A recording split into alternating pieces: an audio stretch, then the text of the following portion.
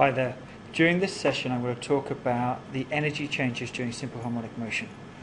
In particular, I'm going to be thinking about a mass displaying simple harmonic motion whilst on a spring, because it gives me a chance to talk about the idea of Hooke's law, which comes up occasionally, um, but it's a kind of a simple example which I think we can all work from. So first of all, let's think about what we have here and why the simple harmonic motion takes place. So the mass is on a spring and it has what's known as a resonant frequency and that's due to something called the spring constant which is dependent on the type of spring you have and the mass involved and they're the only two features which we need to worry about.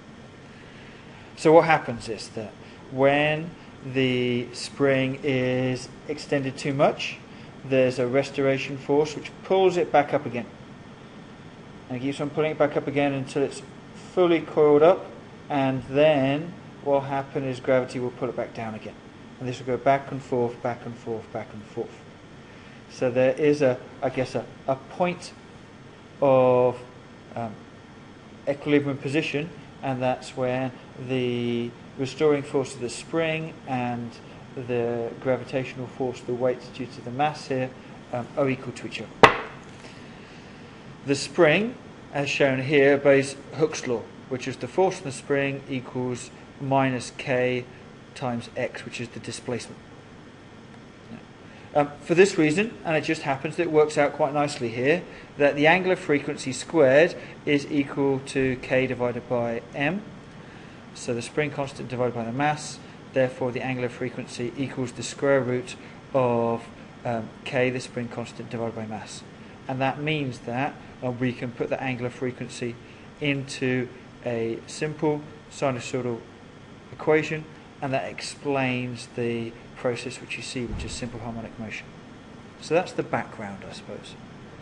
Uh, with this simple harmonic motion with a spring, what we get is, uh, if we think of the position um, here shown against time, we get that up and down, up and down and you can see the equation is the amplitude multiplied by the sine of the angular frequency times time, or we can replace angular frequency with the square root of the spring constant divided by mass. Either way, we get a nice simple harmonic motion, and we get, um, as expected, uh, a mathematically fitting uh, sinusoidal up or down graph. Okay.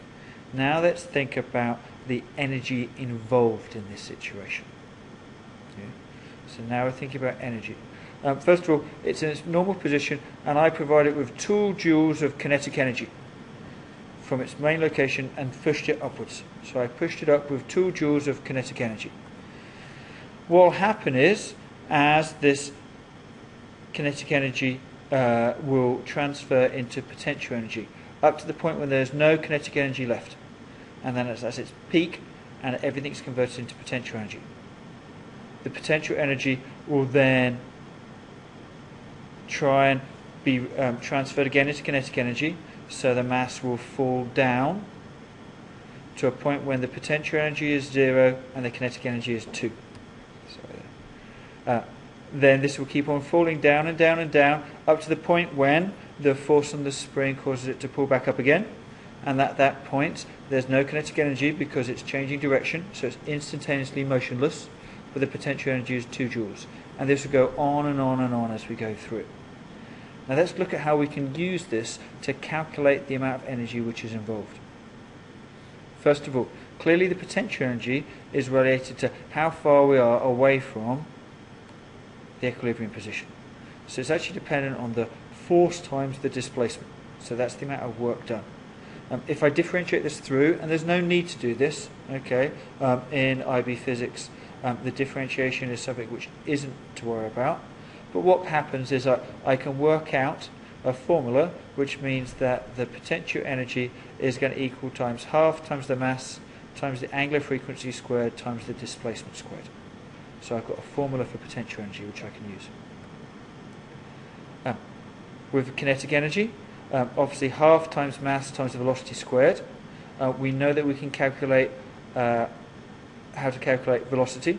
So this means that when I put that value in, I get half times mass times the angular frequency squared multiplied by the amplitude squared minus the displacement squared.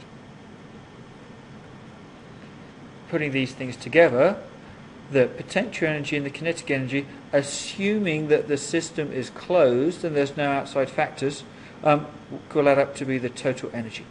So assuming no energy is lost, we find the total energy.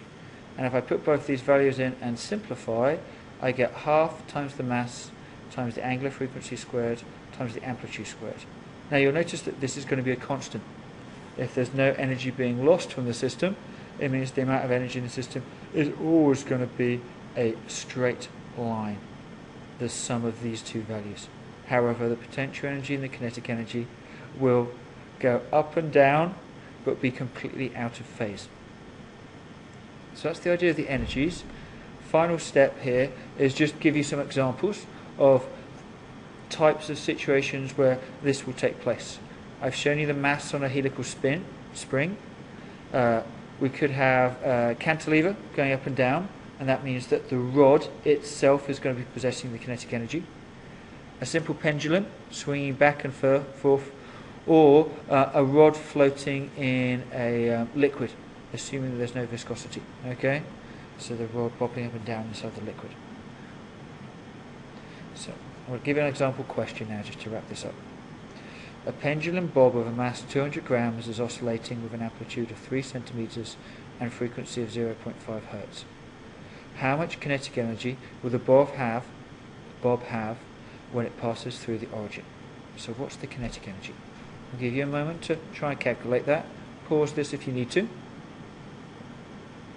Okay. Now, I'll take you through the steps here. First of all, I need to work out the angular value.